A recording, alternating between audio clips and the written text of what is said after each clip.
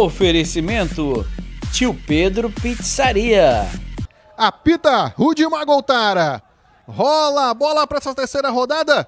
O duelo Porto Vitória e Clube Atlético Itapemirim aqui na sua Porto TV. Aí o Ferrari sai da marcação. Recebe o Ferrari de primeiro, passe pro Breno na esquerda. Vem o Breno, encarou a marcação dentro da grande área, batida pro gol na rede pelo lado de fora. Olha pra área o Breno, capricha no cruzamento. O Thales tocou de cabeça, passou perto demais a finalização do Thales. Mas eu não deixo de seguir nem curtir. Olha o Rafael, roubou para a equipe do Porto. Saiu o bambu do gol. Rafael pode arriscar o gol, tá vazio em cima da linha, deu rebote de novo.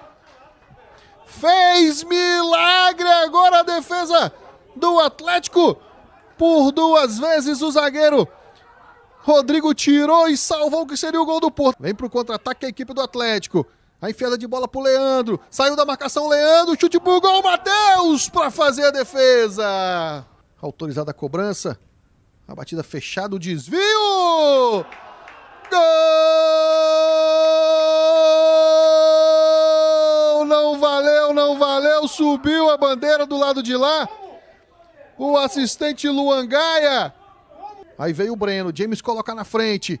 Cruzamento para dentro da área.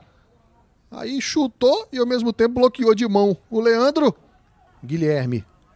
Aí o lançamento para o meio da área, vem chegando o Atlético, a batida pro gol, perdeu!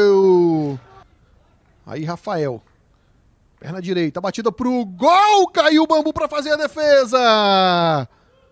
Final de jogo aqui no Salvador Venâncio da Costa.